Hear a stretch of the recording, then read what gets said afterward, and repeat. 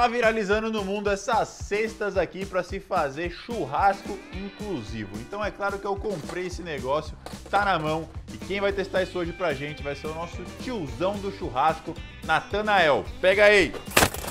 Tá na mão, vou incorporar hoje o tiozão do churrasco. Uma gaiolinha caprichada aí para fazer aquela carninha inclusiva. E eu tenho aqui uma carne de soja e vamos ver como é que funciona.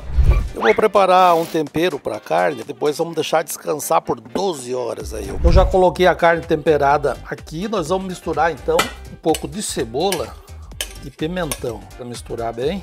E agora nós vamos fazer o seguinte então, vamos usar aqui a grelha inclusiva. Essa quantia aqui tá bom. Esse gancho é para ir virando, né? Para não deixar ela queimar. Olha aí, ó. Agora eu vou pôr aqui por 20 minutos. Então o tiozão do churrasco agora vai ver como que ficou a carninha. Vamos tirar aqui, vamos ver como é que tá. Olha aí.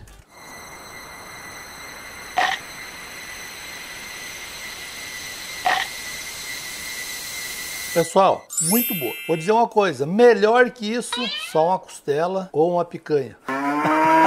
tá testado, tá aprovado, a grelhazinha aqui ó, funciona 100%.